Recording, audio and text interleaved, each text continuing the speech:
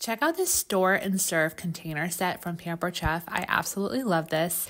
They come with these pucks at the bottom of the serving tray, which helps keep your food really cold for four to six hours. You can keep them in your freezer when you're not using this, or I just like to keep them on the bottom in the fridge.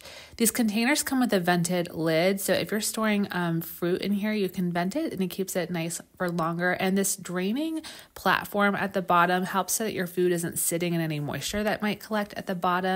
And I love that if you don't need to use this, you can just pop it right on the back of the lid so they don't get lost in your cabinets, which tends to happen to me anytime there's something kind of loose in any kind of set.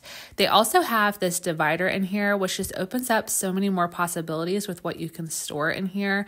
Um, you can really customize this any way you like, from like a salad bar to an omelet bar, fajita bar, whatever you like. Um, there's a lot of really great ideas circulating around there, but I really just like to use these for fresh fruits and veggies at the moment. And my kids know that they can pop in and grab any kind of fruits and veggies that they might want. I refill this a lot.